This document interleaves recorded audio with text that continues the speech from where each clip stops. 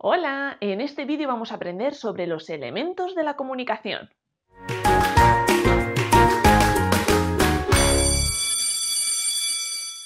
La comunicación es el proceso mediante el cual emitimos y recibimos información. Los elementos que intervienen en la comunicación son varios. Por un lado, tenemos al emisor. El emisor, como su nombre indica, es la persona que emite el mensaje. Emisor emite el mensaje.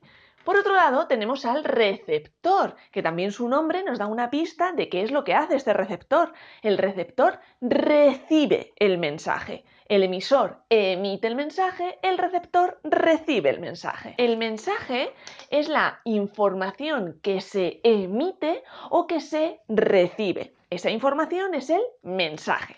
Por otro lado, tenemos el código, que es el sistema de signos utilizado para transmitir ese mensaje. Y según el código que utilicemos, la comunicación puede ser de dos tipos. Por un lado, puede haber comunicación verbal, si lo que usamos es la palabra, ya sea oral, como estoy haciendo yo ahora, estoy usando la palabra oral, estoy hablando, o escrita. Eso es comunicación verbal. Utilizamos la palabra, ya sea esa palabra hablada de una manera oral o una palabra escrita.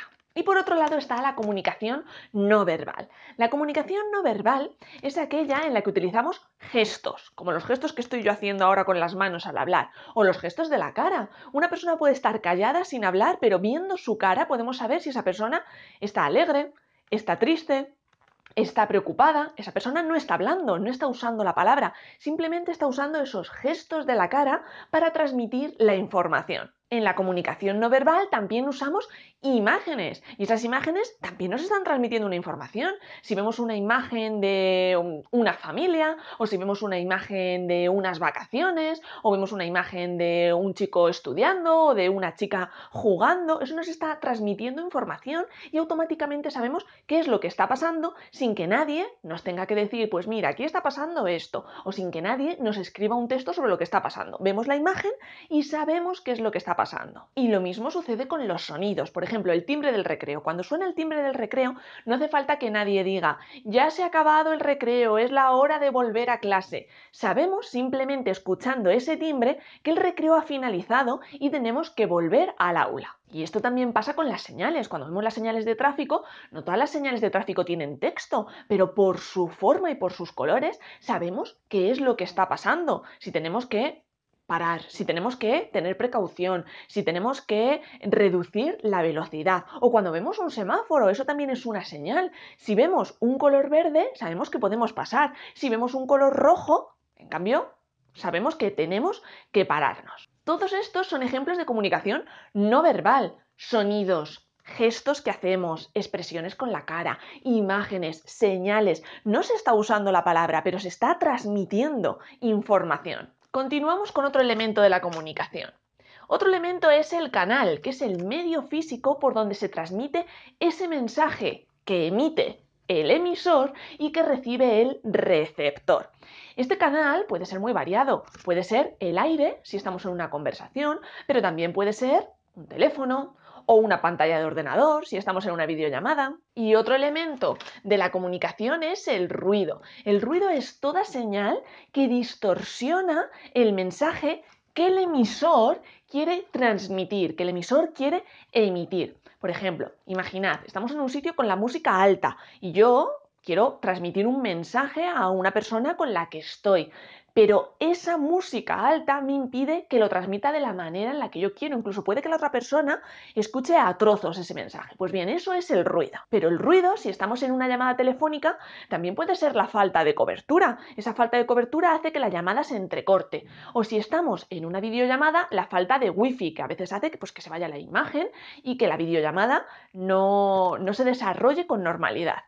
El siguiente elemento de la comunicación del que vamos a hablar es el contexto, que es la situación o las circunstancias en las que se emite el mensaje. No es lo mismo emitir el mensaje en un parque que en una casa, que en una fiesta o que en el colegio. Por ejemplo, en el caso de la fiesta, pues yo el mensaje lo voy a tener que emitir hablando más alto porque hay ruido, esa música alta me va a impedir que si yo uso mi tono de voz normal, la otra persona me vaya a escuchar. Si estoy en el colegio y quiero emitir soy el emisor y quiero emitir ese mensaje a un compañero que tengo al lado, pero el profesor imaginad que está hablando, pues tampoco voy a poder usar mi tono de voz, voy a tener que hacerlo más bajito. En definitiva, el contexto es ese conjunto de circunstancias, esa situación en la que se emite ese mensaje. Y finalmente vamos a hablar de la retroalimentación.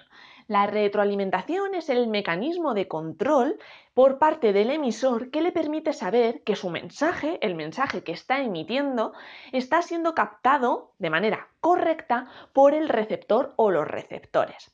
Esta retroalimentación puede ser verbal o no verbal. ¿Cuándo la retroalimentación se hace de manera verbal? Pues bueno, imaginad que yo os estoy contando una historia sobre lo que me pasó ayer por la tarde, que fue una cosa muy interesante. Si vosotros, mientras que yo estoy contando esa historia, me preguntáis, ay, ¿qué pasó después? O ¿y quién apareció? ¿Y qué te dijo esa persona? Yo estoy entendiendo que vosotros estáis asimilando bien ese mensaje, estáis comprendiendo la historia, os están surgiendo esas preguntas y por tanto mi mensaje se está emitiendo de una manera correcta. Eso sería una manera verbal de obtener esa retroalimentación. Una manera no verbal de obtener esa retroalimentación, pues viendo la cara de las personas a las que estoy hablando, de esos receptores que están recibiendo el mensaje. Si esas personas yo les estoy hablando y están mirando a una esquina de la habitación, pues yo voy a decir, estas personas yo creo que no se están enterando del mensaje que yo estoy emitiendo. O si esas personas están bostezando o hablando con otras personas, es imposible que se enteren correctamente de ese mensaje que yo estoy emitiendo. Resumimos, el emisor, la persona que emite la información, la puede emitir de muchas maneras. Puede estar hablando o puede estar escribiendo una carta, pero está emitiendo un mensaje. De las dos maneras, tanto si habla como si escribe, está emitiendo ese mensaje. Aunque también lo puede emitir de otras maneras diferentes, como hemos visto antes, con una serie de gestos. El receptor, ¿quién es? La persona que recibe el mensaje.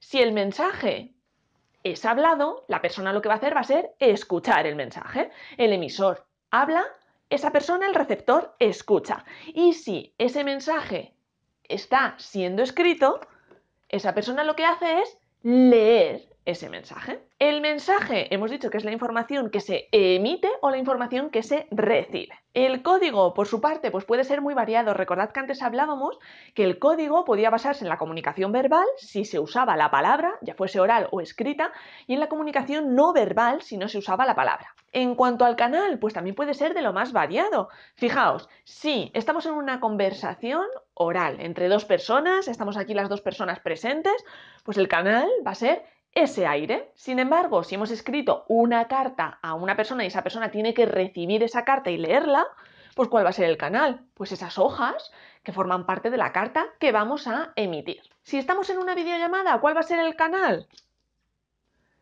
El ordenador, esa pantalla por la que nos estamos comunicando, esa pantalla y esos altavoces. Y si estamos teniendo una llamada telefónica, ¿cuál va a ser el canal? El propio teléfono. El ruido, recordad, todas aquellas señales que entorpecen la emisión de ese mensaje, el contexto, la situación o las circunstancias que envuelven a ese mensaje, dónde se está desarrollando ese mensaje, ese mensaje que emite el emisor y recibe el receptor. ¿Dónde estamos? ¿Estamos en un colegio? ¿Estamos en una casa? Ese es el contexto. Y por último, la retroalimentación que es ese mecanismo que tiene el emisor para saber si el receptor está recibiendo el mensaje Y que decíamos que podía ser verbal si se usa la palabra, si ese receptor nos está preguntando cosas o, si nos está diciendo, ah, claro, claro, sí, sí, sí, entiendo verbal o no verbal, viendo esa expresión que tiene en la cara, viendo si nos está mirando a los ojos o si está mirando a la pared o si está hablando con otra persona y nos está prestando atención a nosotros.